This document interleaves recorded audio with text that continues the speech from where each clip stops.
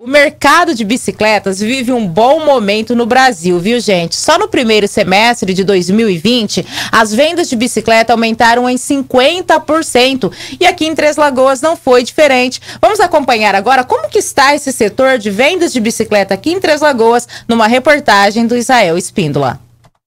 A pandemia provocada pela Covid-19 fez com que os brasileiros mudassem diversos comportamentos. Um deles foi na forma de como se locomover. Só no primeiro semestre deste ano houve um aumento de 50% nas vendas de bicicletas comparado ao mesmo período do ano passado. Os dados é da Aliança Bike, Associação Brasileira do Setor de Bicicletas. E este bom momento nas vendas de bicicletas não é apenas no Brasil. Aqui Aqui em Três Lagoas, os lojistas também comemoram o bom momento. Só nesta loja, o aumento foi de 100%. Nesse novo cenário agora da pandemia, o pessoal tem migrado bastante para os esportes de ciclismo, bicicleta, né?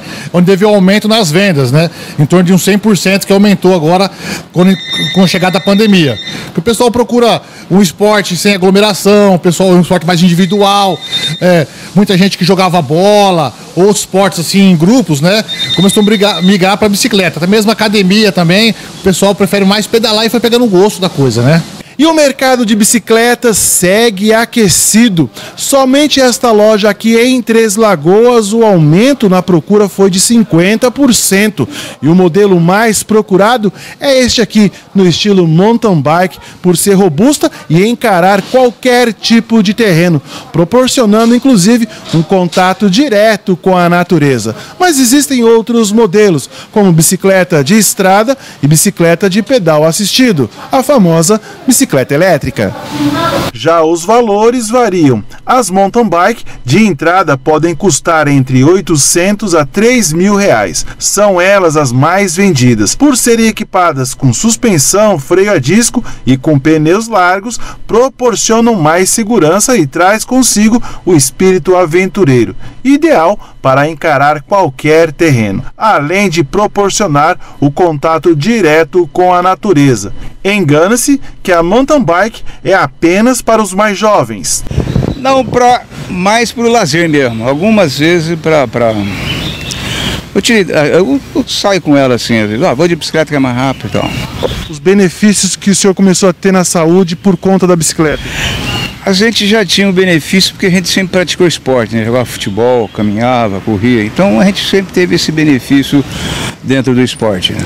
E este bom momento nas vendas vem de encontro com o excelente momento em que vive o Brasil no cenário internacional nas competições de mountain bike. O mineiro Henrique Avancini é o atual campeão mundial na modalidade, o que tem contribuído para aquecer as vendas do MTB. Estratégia do Henrique Avancini, defendendo tudo que pode.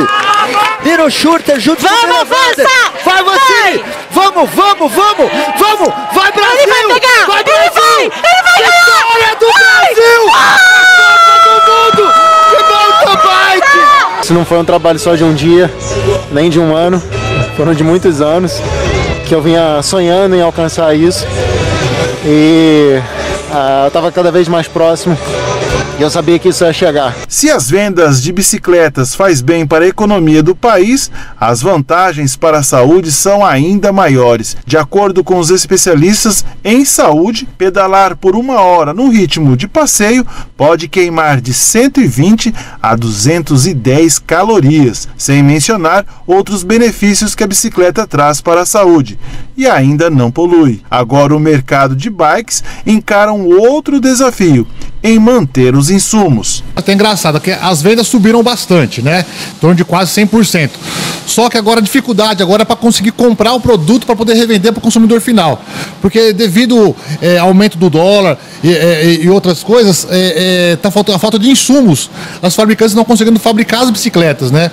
Hoje tem fábrica grande lá em Manaus que a produção só vai voltar a regularizar a partir do ano que vem, lá para março. Então a gente não consegue comprar bicicleta, a gente não tem um produto para vender para o cliente. A gente se programou um pouco antes, conseguiu ter um estoque bom aqui no nosso grupo, né? Mas agora é, que você quiser comprar produtos novos, você não está conseguindo comprar, é só o que tem na loja mesmo. Mas as bicicletas não é apenas para o lazer. Tem gente que utiliza da magrela como veículo de locomoção. É o caso da manicure Aparecida. Para atender suas clientes, lá está ela com sua bicicleta. Por semana, ela percorre mais de 100 quilômetros e ressalta as melhorias na saúde que a bicicleta trouxe. Sim, muita na respiração, na melhora do meu bem-estar, até no emagrecimento. Agora uma curiosidade, quantos quilômetros você pedala por dia? Você já mediu?